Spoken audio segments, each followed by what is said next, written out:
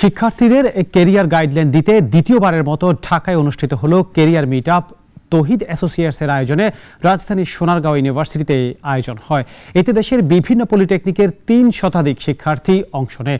চাকরির বাজারের প্রস্তুতি নিয়ে বক্তারা শিক্ষার্থীদের মাঝে নিজেদের বাস্তব অভিজ্ঞতা তুলে ধরেন। পাশাপাশি দেশে বিদেশে উচ্চশিক্ষার বিষয়ও তুলে ধরেন তারা। কর্মমুখী প্রশিক্ষণের বিষয়ে গুরুত্বপূর্ণ আলোচনা করেন তারা। এর আগে সিলেট, বরিশাল, রংপুর, নোয়াখালী ও কিশোরগঞ্জে কেরিয়ার মিট এর আয়োজন করা হয়েছিল।